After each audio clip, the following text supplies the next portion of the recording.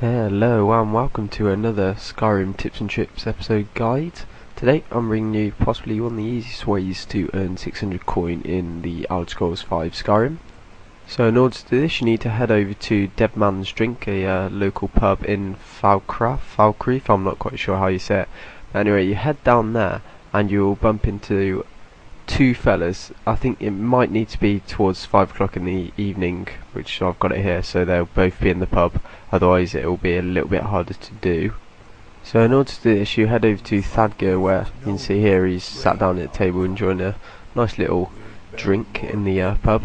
We talk to him, and he'll give you pretty much his life story about his war companion and how he's uh, passed away. But anyway, to cut long story short, he will then give you his burial ashes and ask you to go speak to the priest. And just out of pure luck, the priest is actually Runil, who's actually just to the right, as you see here. You just go speak to him, give him the ashes, and he will thank you for your services, because he's going to, you know, finish the correct burial on him, and then he'll give you 600 coins. So there you go. That is the potentially the easiest 600 coins you're ever going to earn in Skyrim. There are other little quests like this in, in the miscellaneous category, which will also give you a fair amount of gold for doing no, not an awful lot. But I thought this was just so easy that I'll just share, share with you guys and give you a little bit of free money. So I hope you enjoyed. If you have, please subscribe and I'll see you guys later.